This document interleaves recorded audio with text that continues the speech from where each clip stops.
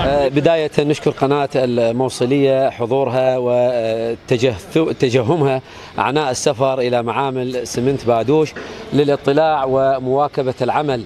الجاري في تأهيل آه، المعامل. ونحن بدورنا كلفيف من المنتسبين الذين باشروا منذ عدة أشهر ولم يستلموا لحد الآن آه، رواتبهم. فمن خلال منبر الموصلية نناشد السيد الأستاذ المهندس حسين محسن الخفاجي آه، مدير عام السمنت العراقية الإسراع بصرف رواتبنا كوننا يعني أصحاب عوائل ولم نستلم رواتبنا لحد الآن. وعلما أننا مستمرين آه، بالعمل آه، في الدوام. ساكن قبل حضرتك يعني.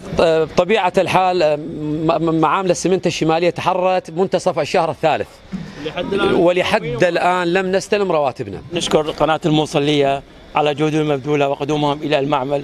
لكن بصراحة نحن نطالب السادة المسؤولين بالإسراع بصرف رواتبنا المتراكمة.